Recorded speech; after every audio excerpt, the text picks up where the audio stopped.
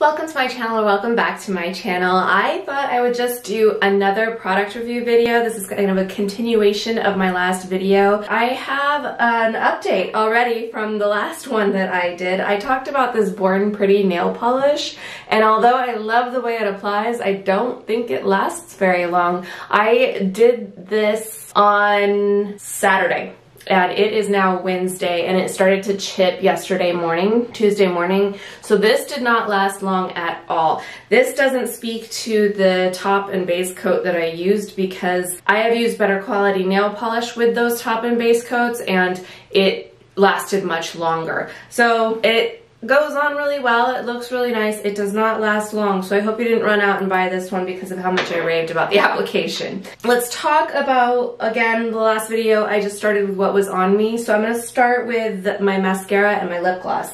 I used this mascara for the second time this morning. This is the Phat uh, Censored Lash mascara. If you're new to my channel, I don't swear. So if you have children around, it, it's definitely appropriate. I tried this for the second time this morning and there are pros and cons. Let me show you the spoolie. The spoolie is a little bit on the bigger side. I like a smaller, thinner spoolie. I feel like I can get more control and I don't accidentally hit my eyelid or under my eye with it. So it's a little bit on the bulkier side, which is okay. It's still a manageable size. It takes a longer time to dry than I am used to with other mascaras in general. I've noticed both times that I've used this mascara uh, I have it on now, so I will zoom in while I tell you about it. I've noticed that both times I've used this mascara, when I looked at myself in the mirror on my first bathroom break of the day at work, I've noticed that there are little dots of black under my eye. I think what that is is that this takes longer to dry than most mascaras. I think that once I leave the house and I have it all cleaned up, it looks fine. And then by the time I get to work, I've blinked or whatever and it has my bottom eyelashes or something has somehow gotten down here. It does go on evenly and nicely. I do like the way it applies. I just think it there's something about it that's a little bit messier to apply. I haven't only had the issue with it showing up on my under eye, I have also, as I'm applying, had a harder time just not getting it accidentally onto my eyelid while I'm applying. It's almost like it very easily transfers from the lash to my eyelid somehow. I do like that it applies evenly and I do think it is lengthening and volumizing enough to my liking. I have let you know that I like a lengthening volumizing mascara so keep that in mind when I talk about mascaras. That's my preference for mascaras. I would not purchase this again if it showed up in a sale just because there are mascaras out there that I like much better than this one one. This isn't a bad mascara. It just takes a while to dry. The formula does. Now, the lip gloss that I am wearing, I got from the Tribe Beauty Box, and I love this. This is the Cas Cosmetics, so it doesn't say it on here. It's C-A-S Cosmetics, and it looks like this.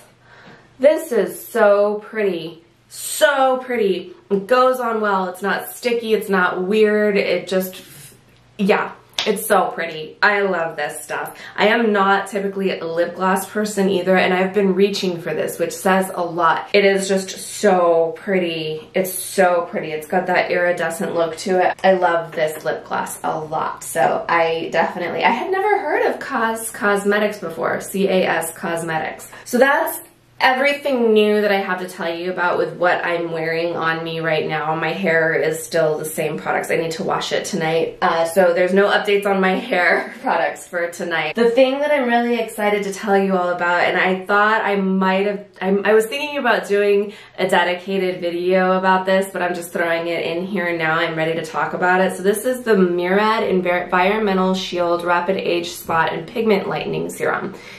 It looks like this. I lost the cap. So this has really good reviews. I have seen many, many people talk about it and say that it worked for their age spots or their sun spots on their chest or their face. I have very old sunspots. These are from when I was about 10 years old. I grew up in Southern California and I don't burn. So, well, I mean, it takes a lot for me to burn. So I never thought about putting on sunscreen. One day at the beach, I did fall asleep and I got a horrible, horrible sunburn when I was about 10 years old. So I damaged this area of my body very, very young. I have had these spots for a long time. So these are old, old spots. I don't know if that matters as far as how well this will work. Now this has an ingredient in it called hydroquinone. I was saying quinone, it's hydroquinone. And I wasn't sure about using this. I figured I would talk to my dermatologist about it. I bought this in a winter sale. And so I finally got a chance to go to the dermatologist. I had squamous cell carcinoma. That's what this uh, scar is right here. So I had to go to the dermatologist. So I brought this with me and she looked at it and she said, you can use that, that's fine. I doubt it will really work. I don't know why. She's a very busy doctor, so I didn't want to keep her with too many questions. She was already doing me a favor, just letting me know about this. So she said, she said, you can, you can use this and it might work. That was her exact words. And then she proceeded to tell me about, I'm gonna show you before and after too, showing you that it didn't really work for me. She proceeded to tell me about uh, IPL treatment that a lot of women do that seems to be effective and it's intense pulsed light treatment and that might be something that I could look into down the line. It's like $350 for a session I saw online so I'm not going to be doing that anytime soon but in sometime in the future when I'm rolling in money I will maybe look into that. So I will show you the before and after now.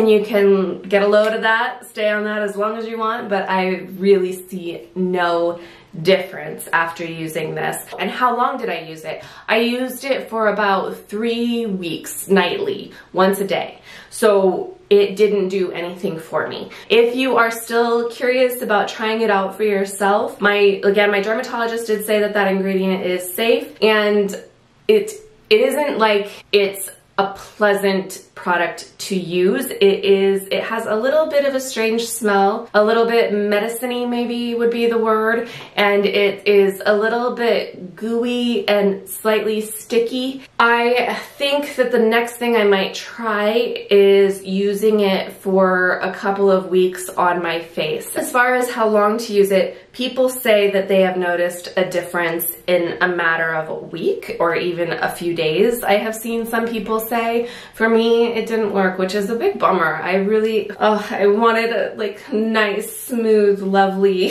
decollete or decolletate, however you say that word. So that's my review of this. And again, Murad is owned by Unilever. Unilever is not cruelty-free, Murad is. There you go. That's the spiel there. Next, I want to talk about cleansing oils. I have three to tell you about. And I did, uh, this I got in a Vox box, Influenster VoxBox. It's the Dermalogica Pre-Cleanse. Dermalogica also owned by Unilever. But Dermalogica is cruelty-free, just owned by Unilever. And then I have this oil cleanser. I've talked about this a few times. I got this in a Petit Vour box, and this is from Kahina Giving Beauty which is the name of the company. Interesting name. I'm not sure what it means. And then I have this Lifestyle Co. 100% Natural Ultimate Makeup Remover, which is an oil cleanser essentially. These are all three extremely similar in their smell, their consistency, and the way they perform. They do a wonderful job as oil as far as oil cleansers go, if you like oil cleansers. But it's amazing. I almost want to try like the Pepsi challenge or whatever that game is where people tell you if it's Pepsi or Coke. I, I don't know that I would be able to tell you which one I was using if I was blindfolded. They're all wonderful. They all smell herbal and amazing and uh, they work work. Some of the similar ingredients, I suppose, oh, the Dermalogica one has a PEG in it, so if PEG is an ingredient that you're trying to avoid, that would be something to avoid. I'm sure that the Kahina Giving Beauty one does not have PEGs in it, uh, or any potentially toxic ingredients because it's from Petit Vour. Petitver has a whole list of ingredients that if a product has it in it, they will not send it to you in a box. They are a cruelty-free and non-toxic subscription box. $18 a month. They're awesome. Anyway, and then, so let's see. I don't have an ingredients list though for it, so I can't tell you what might be similar in there. And I don't have an ingredients list on this one either. Oh, Oh, no, I do. And the ingredients in this are so simple. Okay, so based on ingredients, I would eliminate the Dermalogica oil. So this one has the least clean ingredients, the Dermalogica. I, again, I'm sure the Kahina Giving Beauty one has uh, clean ingredients. And then this Lifestyle Co. one, has almond oil, lavender essential oil, vitamin E, and aloe vera extract. That is wonderful. There is a Los Angeles based company got it in the last, ooh, I got it in the fall add-ons. They are cruelty free and I guess non-toxic. I can't remember if they brag about being non-toxic, but they are cruelty free. They definitely bragged about being cruelty free. But that's wonderful to see so few ingredients in this. This is a great product. I just got this in FabFitFun. Highly recommend. Now, I tried the Blume Meltdown Acne Treatment. I tried it once on a little blemish on my chin, and this is what it looks like. This is what I'm talking about.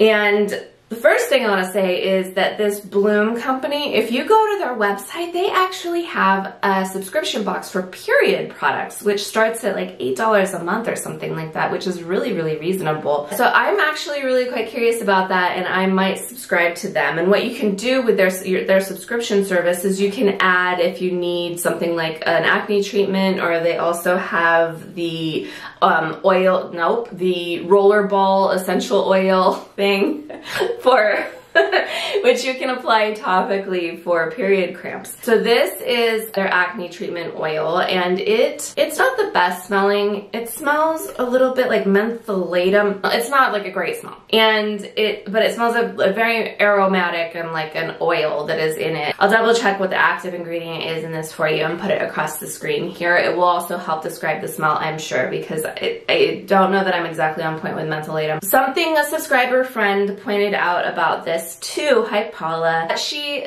mentioned, she left a comment in my FabFitFun add-on unboxing that you should be careful when you use this because if you put it, say you have a breakout on your chin and you put it all over your chin, this really wants to draw out oils and impurities.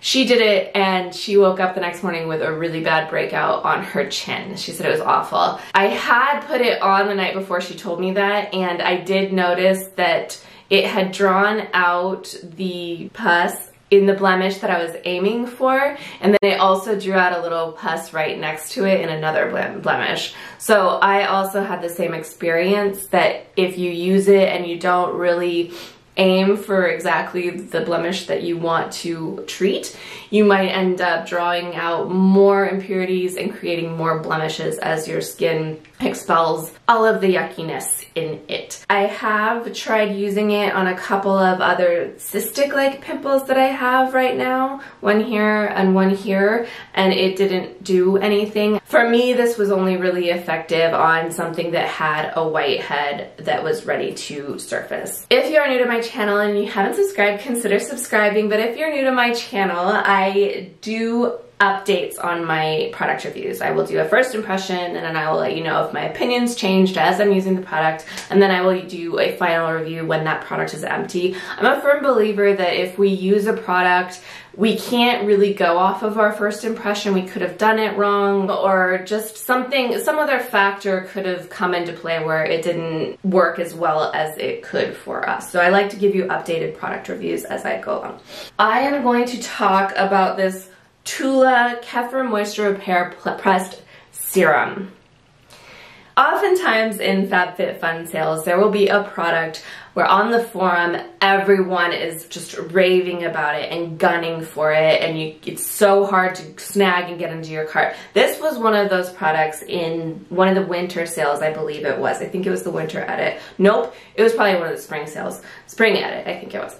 Who cares? This has silicones in it. I am not one of those people who says no silicones ever. There are some people who really don't do well with silicones and need to follow that rule. I'm not one of them. What I don't like to use silicones for though is in my nighttime skincare routine. A silicone maybe in the last thing that I put on in my nighttime skincare routine would be okay. I could see that, you know, helping to trap in the moisture with some sort of barrier. I believe that that's why some people like to also top off their nighttime skincare with Vaseline. It traps in moisture. But with silicone in a serum, which is not the last thing you do at night, you're supposed to be able to put on a moisturizer after serum. So to have a serum that has silicones as the first two or three ingredients, you're essentially putting liquid plastic onto your face and therefore creating a barrier that your moisturizer that you will be putting on afterward will have a hard time or not be able to penetrate. So I can see this actually being over time very detrimental to a nighttime skincare routine. If I'm wrong, I welcome comments and suggestions and I don't claim to be an expert. That is just my intuition telling me that this doesn't really make sense. It doesn't make sense that serums should have silicones in them. I think silicones work in hair care. I think silicones work in primers. I think silicones can work, like I said, maybe in moisturizer as a way to help trap in everything that you have put onto your face and make sure that it really absorbs as much as it can. I just can't see this being good for your skin. And on the forum, I did see one or two people speak up saying that, yeah, they used this and it gave the illusion that it made their skin feel really soft because that's another thing. Silicone makes things feel soft and slippery and smooth. And so if you put this on and you think it's making your skin feel so nice that's not your skin that feels nice. That's the silicones that feel nice. A lot of people on the forum would speak up and say yeah I used that and then I noticed right away after I stopped that my skin didn't feel as nice anymore. And in fact, it felt worse than it did when I first started using it. And if it felt worse, that would likely be because their moisturizer wasn't able to penetrate the silicone heavy serum that they had just put on their face and therefore their moisturizer was just wasted. I don't think that this is a good product for our skin. I am going to talk about this product now. This fell, so it is dented because it fell in my shower and it's also a little bit wet from, wet from being in the shower. Okay, so this is the Game Changer We Are Paradoxx hair mask. And I got this in the summer edit sale and I like a lot of things about it. It's a UK based company and I like that it they make a point not to use plastic for their packaging, which I just love that. It's organic, cruelty-free, all of that stuff. I like the smell. It smells herbal and spa-like. I describe a lot of things that way and I just must really like that kind of a smell because I'm always really excited when something smells herbal and spa-like. I just wish it felt a little bit more nourishing in my hair. It feels like a hair conditioner. It doesn't really feel like a hair mask. I've used it twice. I will update you if it changes. This is an empty. So this is Origins. This is their Refreshing Eye Cream to Brighten and Depuff. This is a morning eye cream. I got this in my Influenster Best of 2018 box. It is all empty. I used it every morning and it lasted me a good six months. It was, it's a really nice product. Origins is cruelty-free, however, they are owned by Estee Lauder. Estee Lauder is not cruelty-free. The reason that this is brightening is because it has mica in it, so it gives you a little bit of a shimmer. It is really pretty. It's a subtle, it's just a touch of mica. I'm gonna leave a link to a video that Refinery29 did about that ingredient that is, a, it's on the depressing side, but I can't help but share all the information that I learned with you guys. So I'm gonna leave a link about it. If you wanna get depressed about mica, go ahead and check it out. It's not that we need to avoid that ingredient, but there needs to be some reform about the way that it is mined. Anyway, I thought that this was extremely nice, lovely to use every morning. It felt very silky going on and it left that little shimmer. I won't repurchase it because it's owned by Estee Lauder and I'm doing my best to avoid buying things that aren't entirely cruelty free. If I didn't care that this was owned by Estee Lauder though, this is a lovely eye cream. I do recommend it. It has a great shimmer to it. It's good. It's it's good stuff. I would love to try more Origin stuff, but owned by Estee Lauder, so I'm not gonna be doing that. I have this empty. This is the Maelove Glycolic Night Cream the Night Renewer Glycolic Acid Cream. This Maelove stuff, it is a company that was founded by some MIT graduates. It's based in San Francisco. Their mission is to create an affordable, simple, high-end skincare line and they're doing a really good job of it. This is a very straightforward cream. I enjoyed using it. I can't say if I noticed that there was a big difference because of this in my skin. I used this right when I just kind of dove in and did an overhaul on my skincare and generally my skin improved and looked more glowing and healthier and softer. So this was part of that whole mix. A lot of people really like this. If this shows up in a sale again, I do highly recommend it. I have heard some doctors assert though that glycolic acid isn't necessarily an effective treatment to be used at home. Something about the size of the molecule, I'm not a scientist, you might want to look into that. I have seen that written in articles and I have heard that said. That aside, if you like glycolic acid, this is wonderful. If it shows up in a FabFitFun sale, definitely get it. This is another empty, and if you've been watching me, you know I love this stuff. This is the Hey Honey Walk the Walk Propolis Foot and Heel Cream. If you are vegan, you don't, don't want to use propolis. It comes from bees. It is harvested from them same way, not the same way honey is, but by beekeepers. It is it's a mixture of their saliva and tree sap, something like that, and it creates kind of a glue that they can build their hives with. Propolis, that's what that is. This is empty. I love it. I have another one going in my nightstand. I just gifted one to my mother-in-law for her birthday. I love this stuff. This is a really good foot cream. And while we are on foot creams, I have this Lavido Thera Intensive Foot Cream. This is a company that's in Israel and they're cruelty free, all that wonderful stuff.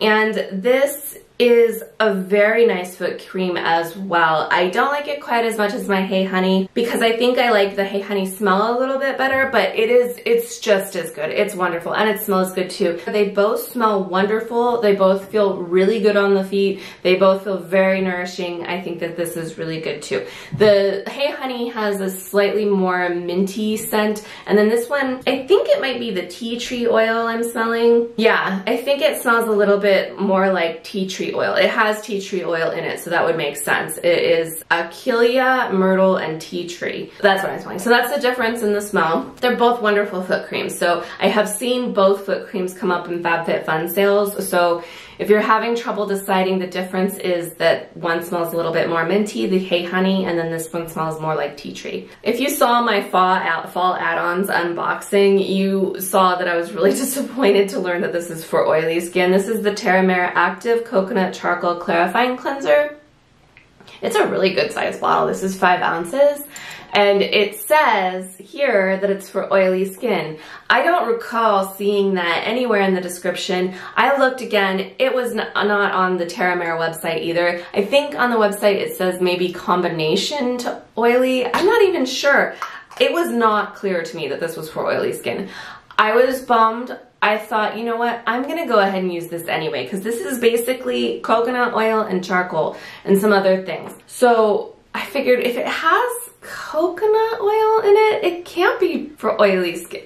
I don't know. I don't know what Terramare is doing with this one. Typically, I really love Terramare stuff. I have been using this for about a week now, and it's black. It's got charcoal in it. It's black, and it feels a little bit like a cream cleanser. You can see how it's running. And I really liked it at first. I thought it felt really good on my skin. The smell reminds me a bit of Malibu rum minus the um, rummy part of Malibu rum. And I think when I had that association, that's when I kind of stopped liking it because I don't like to drink alcohol. I think that's when it stopped. At first, I liked it. I thought it felt really good and almost like milky in a way and really nourishing. It does not feel drying at all. So I'm not sure what the deal is with it saying it's for oily skin. I think that this is a new product for Terramare. I can't find any reviews on it anywhere and I couldn't when I purchased it, but I just took the gamble because I do like Terramare.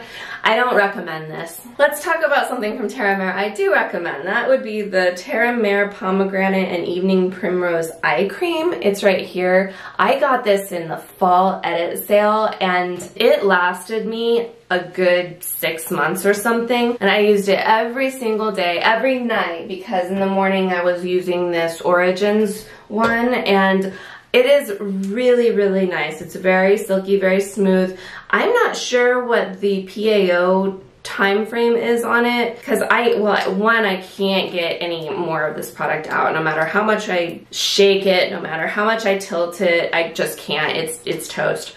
But also the consistency kind of changed a little bit. So I think that it may have expired anyway which is good timing because I can't get anything out of it. I'm gonna be moving on from this or I did move on from this and I moved on to this, the Elemis Peptide 4 Eye Recovery Cream. Now this came in my Elemis Winter Collection kit that came in the silver bags that were available in the winter sales and that was an amazing deal. That came with the silver makeup bag which is a good size and it came with this night cream oil and then it also came with this thousand flower mask. It was these three things for $21 and a really nice makeup bag. I don't think FabFitFun really has those prices anymore. Their, their sale prices have gone up, which is a bummer. So I have this in my hand too. This is an empty. I'll talk about the eye cream first. And I think that this eye cream is very nice. It's very silky. It goes on well. It's it, it, I like it a lot. I, I have liked all of these products. So I've talked about that. Well, now I kind of roped this into it too, so I'll talk about that as well. So this is the Night Recovery Cream Oil. This was the first time I used a cream oil, and it's the reason that I described the Terramare cleanser as a cream oil, because it just has that kind of consistency. Whatever you can imagine, cream and an oil mixing together and that kind of consistency. There's something, oh gosh, so this smells like this. The eye cream smells like this night recovery cream oil, but it's just not as intoxicating. This is so, oh my gosh, I can just feel myself something about this. it's heavenly. It smells so good and it's almost a little bit like gingerbready. I've talked about this. This is empty. It's wonderful to use. And then this, their Thousand Flower Mask. I've talked about this before too. I think this is wonderful. It has humic and fulvic acid. So those are naturally sourced ingredients from the earth for our skin and they are very beneficial. And this is also very heavenly to use. This is, uh, you have to be careful. This one can stain your clothes and your towels and whatnot. So when you use it, just be careful if you ever decide to get it. I really like this. When it goes on, it there's almost a very, very subtle sting but it feels, it's like a good sting and you feel like it's doing something for you. anyway, this, I, I meant to just talk about the eye cream and then I ended up just talking about all of these, but this was an amazing set to get. Okay, I think I'm done talking now. If you haven't subscribed, consider subscribing. Thank you for joining me. I hope you have a wonderful day and I will see you in my next video. Bye!